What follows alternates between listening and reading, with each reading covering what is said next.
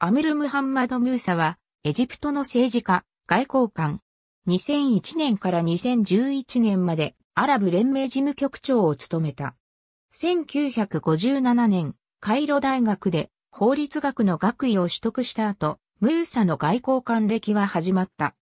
1958年から1972年、ムーサは在スイスエジプト大使館や国際連合エジプト代表部を含め、いくつかの在外交換で勤務した。1974年から1977年、エジプト外相補佐官を務める。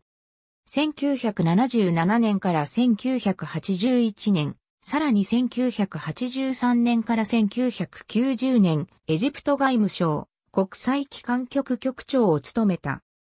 1981年から1983年、ムーサはニューヨークの国際連合で次席代表を務め、その後1983年から1986年、中インド大使を務めた。1990年、国際連合エジプト主席代表に任命された。1991年から2001年、ムーサはムバラク政権の下でエジプト外務大臣の職にあった。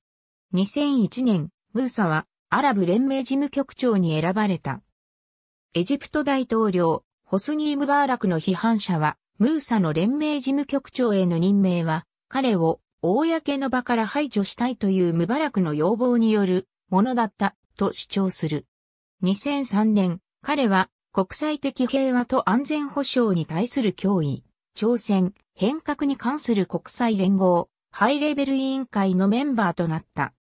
ムーサ事務局長とメドベージェフロ大統領2009年、共同プロジェクトを強化し、平和及び文化、政治レベルの対話を促進するため、ローマ教皇庁との合意覚書に署名し、法王ベネディクト16世と会談した。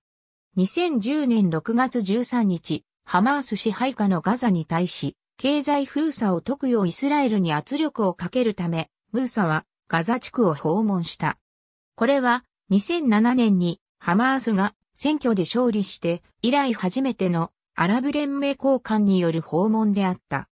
ガザ船舶襲撃事件の直後、ムーサはアラブ連盟に対し国連安保理にガザ封鎖の解除を訴えるよう述べている。2011年のエジプト革命により、ムバーラクが大統領を辞任した後の2011年2月27日、次期大統領選への出馬を表明した。2011年6月アラブ連盟事務局長を退任。2012年5月に行われた2012年エジプト大統領選挙では第1回目の投票で得票率11.12%に終わり、決選投票には進出できなかった。